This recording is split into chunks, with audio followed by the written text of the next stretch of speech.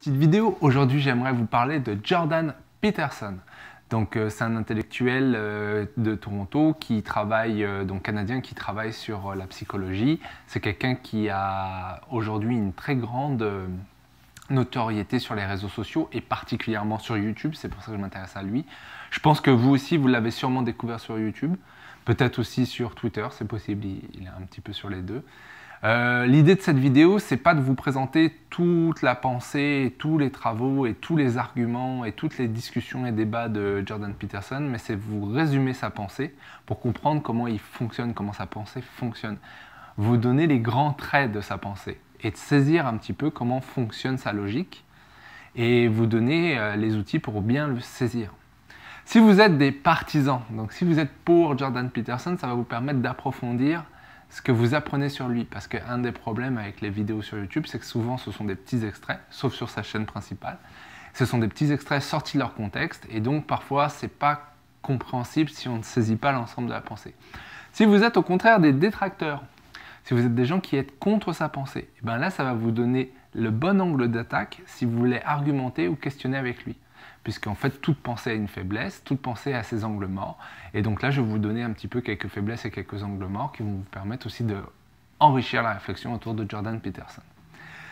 Je m'excuse tout de suite, cette vidéo va être euh, assez compliquée parce qu'il y a beaucoup, euh, Jordan Peterson est quelqu'un qui utilise beaucoup de sources très différentes, qui sont parfois même contradictoires, c'est ça qui est intéressant. Ça rend sa pensée extrêmement riche et ça donne que je vais avoir beaucoup de stock à vous donner malheureusement. Donc voilà, je m'excuse tout de suite. Il y a une chose aussi que je trouve très intéressante, c'est vous connaissez Jordan Peterson d'à partir d'où? Est-ce que c'est quelqu'un qui a créé un concept? Est-ce que c'est quelqu'un qui est en train de changer ou révolutionner quelque chose en particulier? Comme on peut le voir avec, euh, par exemple, Einstein pour caricaturer. Donc, euh, il crée une formule et devient célèbre. Non, c'est pas ce qu'on voit.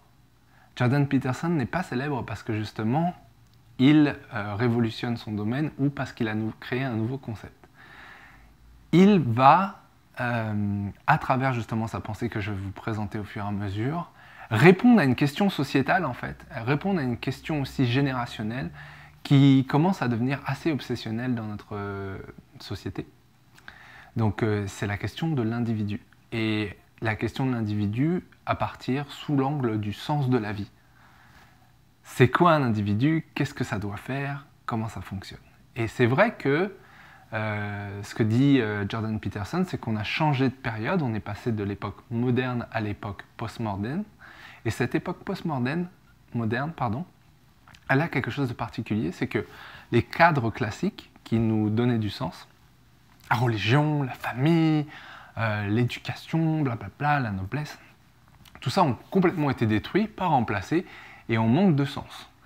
Et quand on était dans le passé, on nous attribuait assez naturellement du sens en fait. Ce qui se passait, c'est que mon père était forgeron, j'étais forgeron, mon fils sera forgeron, mon petit-fils était forgeron, bla bla bla bla, tout le monde était forgeron. Euh, je suis né noble, je, suis euh, comte, marquis, etc. Puis, ta, ta, ta. Donc la société déterminait pour nous, donc c'était social, c'était l'ensemble de la société qui déterminait pour nous notre identité, notre cadre et le sens de notre vie. C'est simple que ça dans les ce qui se passe avec euh, la fin des années 70, c'est que ces cadres explosent. Et donc on se retrouve, nous, et plus particulièrement la génération des milléniaux, on se retrouve en fait sans guide. On peut tout faire en fait, tout est possible. Je peux être aussi bien euh, boulanger que je peux être euh, forgeron, que je peux être Premier ministre. Il n'y a pas de problème avec ça en fait. très concrètement, oui, il y a des cas hyper extrêmes qui seront la neurochirurgie. Je ne serai jamais un neurochirurgien, mais je peux être facilement euh, un livreur ou je peux être facilement un coiffeur. Donc c'est possible de changer très facilement de sphère. Et en fait, en réalité, notre monde, c'est vrai qu'il ne nous donne pas beaucoup de sens. Il y a une vraie crise du sens. Et cette crise du sens, ça nous touche tous.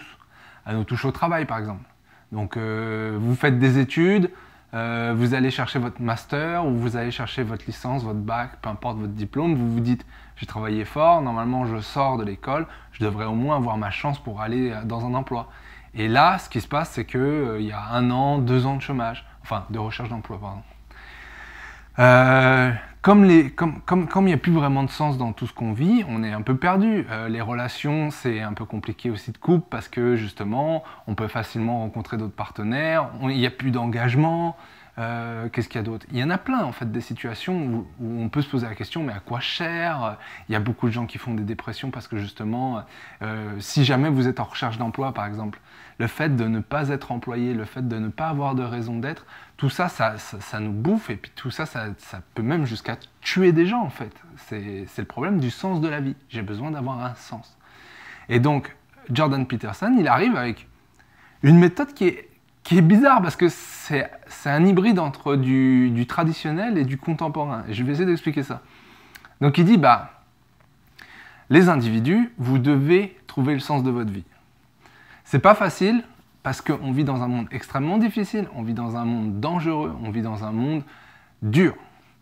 Et ce qu'il essaye d'expliquer, c'est il vous faut des, des, des, objectifs. Donc, premier objectif, je sais pas moi, je vais avoir tel diplôme.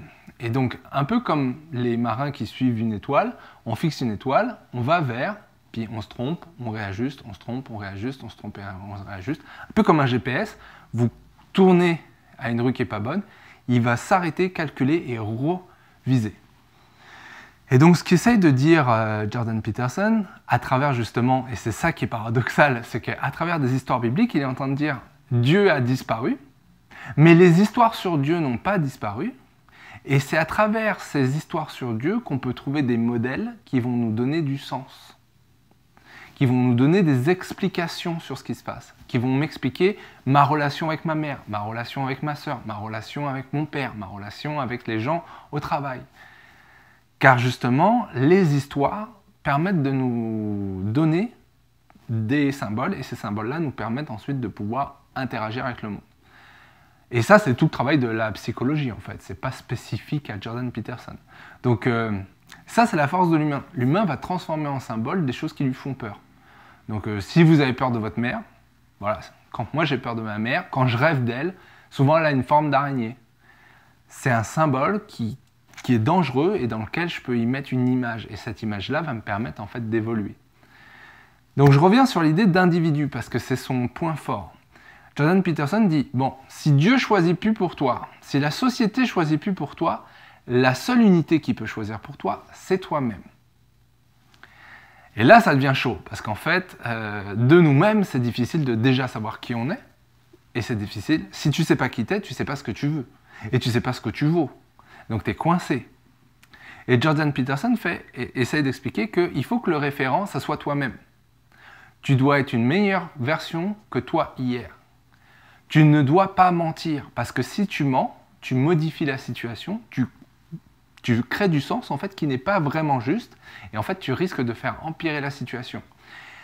Ce qu'il essaie de montrer, et ça c'est super intéressant, et là il utilise la notion d'individu moral en fait, qui vient de Dostoevsky, il en parle beaucoup dans ses vidéos, donc euh, Dostoevsky avait déjà cette problématique autour de Dieu, si Dieu disparaît, qu'est-ce qui va faire que les gens seront des surhommes, des, seront meilleurs, vont viser vers le, pas la perfection, mais vers quelque chose de meilleur, ça serait un homme moralement supérieur. Et c'est ce que présentait déjà Dostoevsky. Euh, Et Peter euh, Jordan dit, la même chose. Il dit visez le vous moralement supérieur. Soyez quelqu'un de bon, soyez quelqu'un d'honnête, travaillez fort, et là, ça devient plus compliqué. Parce qu'il ne suffit pas juste que vous travailliez fort, il ne suffit pas juste que vous soyez honnête, parce qu'on est des individus qui vivent dans une société, et cette société, pour Jordan, est composée d'une hiérarchie de compétences. Cette hiérarchie de compétences, donc on peut prendre euh, c'est la même chose chez les loups, par exemple. Le loup alpha, c'est le loup qui est le plus capable de ramener de la nourriture, de trouver les points d'eau, de trouver les territoires les plus sécuritaires. C'est pas forcément le, loup le plus fort. Ça peut être le loup le plus fort, mais c'est en règle générale le loup qui a le plus de compétences, qui est en haut de la hiérarchie. Donc, comme je disais, Jordan Peterson disait bah, si tu veux être un bon euh, si tu veux être journaliste, sois un bon journaliste, sois le meilleur, sois intègre, etc. Et donc tu vas être reconnu et donc, tu vas être bon dans la, euh, dans la pyramide de hiérarchie. Donc, tu vas pouvoir être reconnu par la société et tu vas garder cette société saine. Parce que ce que explique Jordan Peterson, c'est que la société et l'individu est composé d'ordre et de chaos. Si on est trop dans l'ordre, ça devient une tyrannie. Si c'est trop le chaos, c'est trop le bordel et donc ça évolue pas. Et la hiérarchie et la société est composée de la même chose.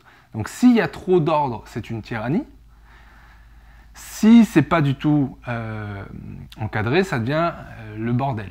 Et donc, ce que dit Jordan Peterson, c'est que c'est de la responsabilité de l'individu et des individus en général d'être supérieurs moral pour rendre cette société supérieure morale. C'est la somme des individus.